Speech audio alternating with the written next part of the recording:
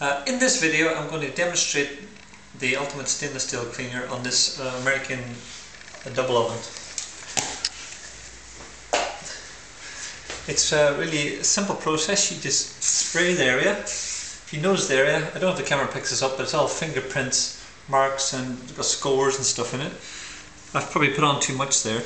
Uh, down beneath here, just a little spray, I still put on too much. It doesn't need that much, the tin lasts a long time. Um, then you use a bit of kitchen paper, and bounty towel, and it's just a matter of wiping off the excess, and that, the cloth will absorb it. And one wipe, and it's gone. And if you look at the cloth, I don't know if you can see that, but it's got all the scum and, and dirt on it. And it's dead shiny, no smears. Uh, um, you can give it a little wipe just to get off any other bits of excess that are around the rims a little buff up and that's polished and protected and it's conditioned the stainless steel if it's brushed stainless steel.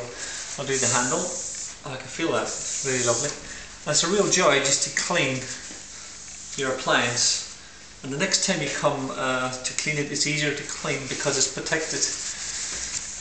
There we go. Just come with me down beneath. It's easy to get access around those awkward areas too with a bit of kitchen bounty towel. Don't use a cloth because a cloth might have a bit of grit in it and that will score the appliance and ruin your appliance. Let's come down beneath here. And we'll go across there. I don't know if you can see the dirt in behind that, but so just clean that along. Again, there's it's all the, the scum and the dirt on the on the cloth. Taking it away so it doesn't scratch. And we'll go on there. Um, I used to use a, a three, uh, you know, the the e-cloths, but I find them once I use them, they're all greased and you have to clean them again, and they're, they're quite expensive uh, for what they are. There we go, easy to get around the corners.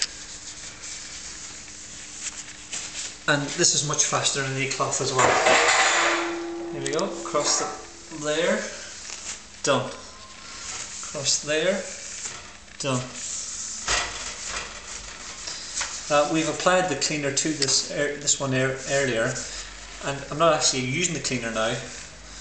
I'm just using the excess that's on the cloth, and that's enough to clean to bring it back without one single smear. There's no smears, no streaking.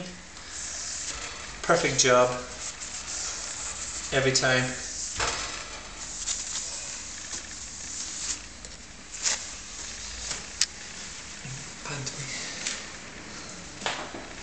Okay, thanks for watching my video. I'll see you on the next video. Bye for now.